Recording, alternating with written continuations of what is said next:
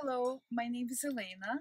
I'm here at this wonderful little paradise called Hacienda del Sol, a retreat I found on the internet when I needed some really well-deserved vacation after working six or seven days a week. I run a music school, classical music school in Philadelphia, and I have been doing keto diet since December. And I was just terrified that if I would go on any kind of vacation, that I would be um, really uh, eating foods that would make me go out of ketosis, which is a scary thought.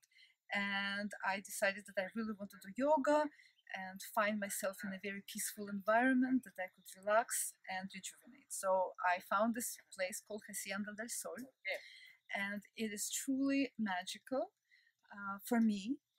Um, it's the food is tremendous. I, I mean, they have this incredible cook incredible cook who makes things not only nutritious but beautiful. The beauty of every single meal is is uh, it's, she's she's really like a like a true artist. Uh, I love the flowers. I've been taking lots and lots of pictures of the flowers, and I sent them to my friend in New York, uh, who uh, uh, I texted her the pictures, and she responded with a picture and she said, this, and I'm in my office. And she showed me the picture of her printer and of the radiator, and I guess she was jealous. Uh, I highly recommend it to people who need to eat keto food or raw food.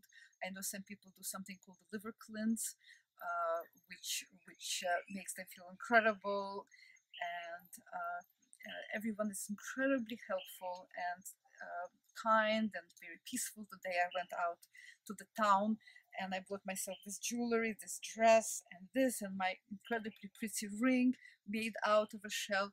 So I'm having a great time, and I highly recommend for a, for anyone who wants peace, quiet, swimming in a pool. Uh, ah, there's gorgeous hummingbirds that fly and they drink nectar. There's iguana who comes from some time from time to time. I haven't seen the monkeys yet, but the sound of birds is just really beautiful. And even if it rains sometimes, it's still very, very special and calming environment. I get to do my internet, I get to work. There's special places, including this, that I like to lie down and uh, do my work uh, from all the way from Costa Rica to Philadelphia. So, reading books, thumbs up.